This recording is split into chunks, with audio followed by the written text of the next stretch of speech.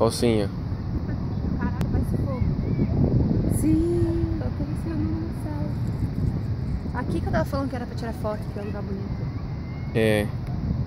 Aqui, se você sentar aqui, dá pra tirar foto assim, tem a cidade. Uau. Fogo.